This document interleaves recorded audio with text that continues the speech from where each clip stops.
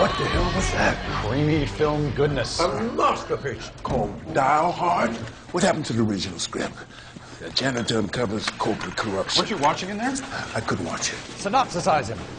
Bad guys take hostages in a skyscraper, knocking out all the phone lines. So you rewired the building into a 700-foot hotline to the cops. Yeah, you guys are crazy. Danny, high blood pressure is a silent threat. Well, I'm not doing the press junket. The media are right below us, and we thought you could rope down and smash through the window. I'm too old for this. Look, Danny, I don't want to get legal, but you did sign on for this, so just call your people. Dial. Merchandise. I'm not calling anyone on that thing. Gloria waits.